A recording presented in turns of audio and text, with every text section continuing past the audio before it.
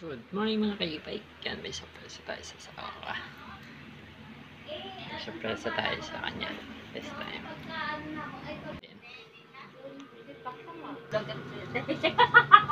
May surprise nga ako sa iyo. Eh, pag hindi ma ano, hindi ma, hindi ma, Wala, sana hindi maniwala. May surprise nga ako. Uy!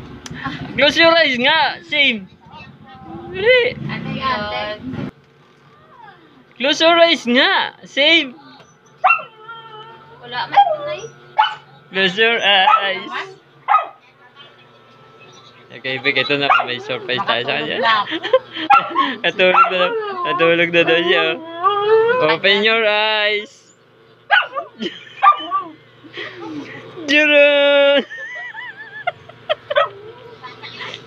Tutuwa siya kasi paayos na natin yung kanyang ano. Na natin kanyang Hello. Papalitan natin na ng battery. Diba? Ayan, may gagamitin na siya.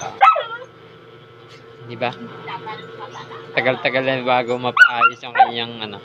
Yung kanyang... Ah, happy? Happy ba? Hindi, yan totoo. Ayun, happy na daw siya. Nayambal ni Jason kagabi.